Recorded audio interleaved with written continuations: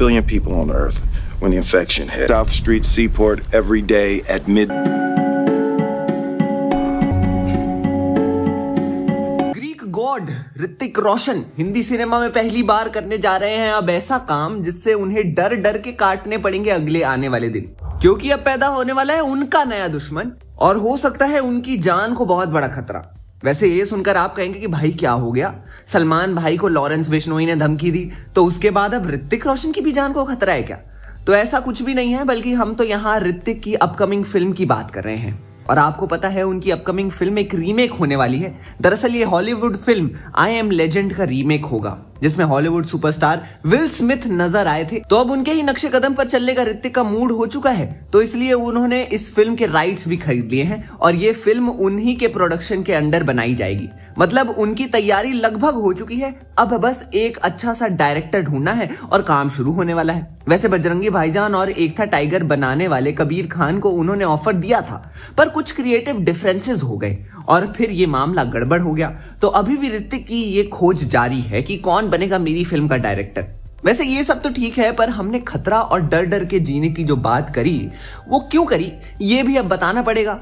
तो ये हमने इसलिए की क्योंकि ये फ़िल्म जो बनाई जाएगी, वो दरअसल जोम्बीज के ऊपर बनाई जाएगी, क्योंकि आई एम लेजेंड 2007 की इस हॉलीवुड फ़िल्म की कहानी अगर आप देखो तो उसकी कहानी ये है कि एक महामारी आ जाती है, जिसके तले लगभग पूरी दुनिया खत्म हो जाती है। पर उसमें अकेले फ़िल्म का हीरो यानी विल स्मिथ बन जाते हैं। पर अब उन्हें ही उस जोम्बी से खतरा है, जो उन्हें मारने के लिए ढूंढ रहे हैं। तो ऑब्वियसली ऋतिक जोम्बी का कैरेक्टर तो निभाएँगे नहीं विल स्मिथ का ही कैरेक्टर निभाने वाले हैं। इसका मतलब है हमें हिंदी सिनेमा में दूसरी बात, गो गो वा गॉन के बाद, अब दोबारा से जॉम्बीज देखने को मिलेंगे, जिसका सामना ऋतिक को करना पड़ेगा, जिनसे उन्हें खतरा होगा फ़िल्म में। बाय द वे ये ऋतिक का एक अनोखा एक्सपेरिमेंट तो कहलाया जा रहा है, और इसके लिए बहुत सारे लोग तारीफ़ कर रहे हैं उनकी, क्योंकि इससे पहले उन्होंने फाइटर नाम की एक फ़िल्म करी थी, जो कि पहली एरियल एक्शन फ़िल्म कहलाई गई।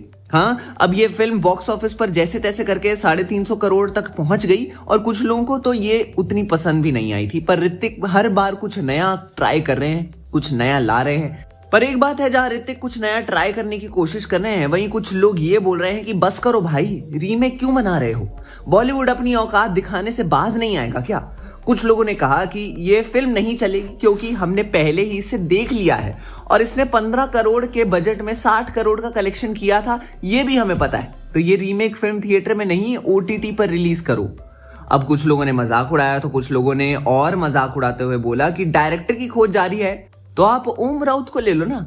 वैसे भी उनकी आदि पुरुष किसी जोम्बी फ़िल्म से कम थोड़ी ना वैसे इस एक बात पर एक ग्रैंड सैल्यूट देना तो बनता है, क्योंकि लॉजिकल बात की है यूज़र ने। पर इससे यही समझ आ रहा है कि कुछ लोग इस रीमेक में खुश नहीं है तो कुछ लोग इससे बहुत खुश हैं। मतलब बहुत ही खुश हैं।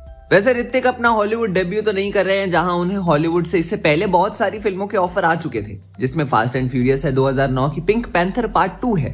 पर उन्होंने सभी के ऑफर्स को ठुकरा दिया। भाई, ठुकरा दिया कि मैं हॉलीवुड में नहीं जाऊँगा, लेकिन तुम्हारी फ़िल्मों का रीमेक ज़रूर बनाऊँगा।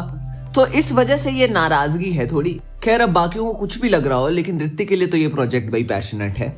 जिसको लेकर वो कोई जल्दबाजी नहीं करना चाहते, इस फ़िल्म का बजट भी अच्छा खासा रखा जाएगा। तो अभी डेवलपमेंट स्टेज में है। वैसे जब क्रिश फोर का काम खत्म हो जाएगा उसके बाद इस पर काम शुरू हो जाएगा। यानी कि 2025 में इस फ़िल्म पर काम शुरू हो सकता है और 2026 या 27 तक ये रिलीज़ हो सकती है। तो लेकिन उससे पहले हम देखेंगे वॉर टू क्योंकि वॉर टू के लिए बहुत एक्साइटमेंट है। आप किसके लिए एक्साइटेड है? I Am Legend War two या फिर क्रिश फोर हमें कमेंट बॉक्स में अपनी राय ज़रूर बताएँ और देखते रहिए हमारे channel Bollygraph studios Become an actor in Bollywood. WhatsApp hi to 882 885